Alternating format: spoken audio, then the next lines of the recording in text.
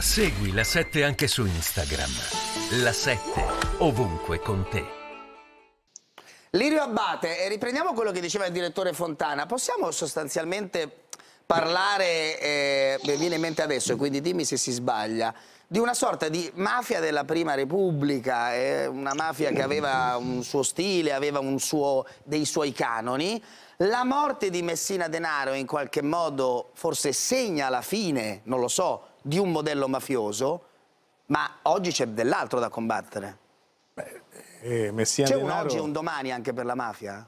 Sì, sì, ma c'è sempre stata nei, nei decenni, eh, ha cambiato pelle, ha cambiato strategia tante volte e qui la morte di Messina Denaro farà cambiare ancora una volta Cosa Nostra. Intanto la morte di Messina Denaro segna la fine di fatto anche dell'ultimo libero stragista che, c'era, che apparteneva ai corleonesi, quella mafia corleonese stragista, terroristica che faceva capo a Rina con Messina Denaro uh, svanisce, non c'è più nessuno eh, in circolazione che possa uh, continuare quell'opera quell lì. C'è invece questa, e c'era questa figura dominante, pesante di Messina Denaro che non era il capo di Cosa Nostra ma che ostacolava uno sviluppo di, di questa organizzazione criminale per come avrebbero voluto, e cioè su, sulle antiche e vecchie tradizioni con nuovi personaggi in una, in una mafia che appunto, come diceva Luciano Fontana,